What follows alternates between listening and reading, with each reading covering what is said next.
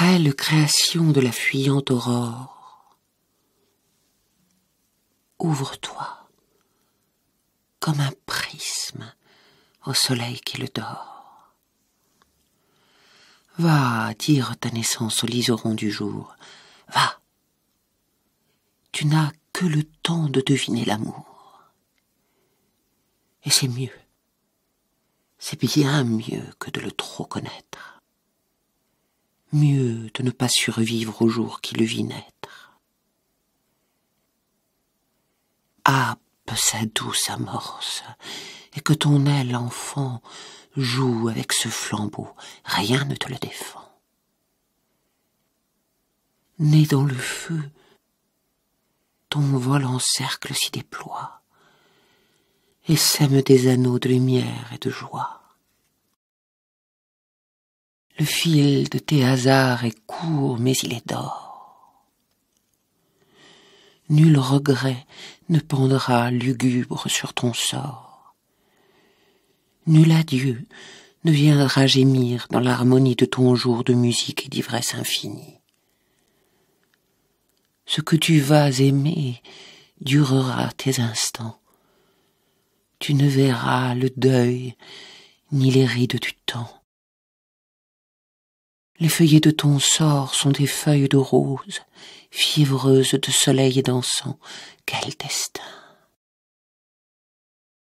Atome délecté dans le miel qui l'arrose, sonne ta bienvenue au banquet du matin. Je t'envie. Et Dieu t'aime, innocente éphémère. Tu nais sans déchirer le beau flanc de ta mère. Ce penser triste et doux ne te fait point de pleurs. Il ne t'impose pas comme un remords de vivre.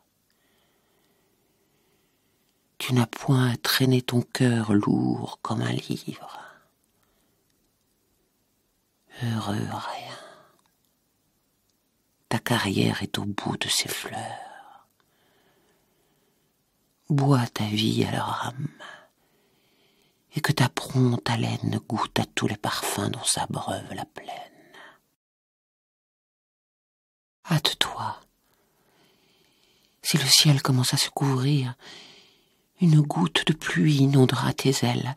Avant d'avoir vécu, tu ne veux pas mourir. Toi, les fleurs vont au soir, ne tombent qu'après elles. Bonjour, bonheur, adieu. Trois mots pour ton soleil. Et pour nous, que de nuit jusqu'au dernier sommeil. Le long vivre n'apprend que des fables railleuses. Tristement recueillis sous nos ailes frileuses, nous épillons l'espoir qui qu'un regret. Et l'espoir n'ouvre pas sa belle chrysalide, et c'est un fruit coulé sous son écorce vide et le vrai, c'est la mort. Et j'attends son secret. Oh, ce sera la vie. Oh, ce sera vous-même.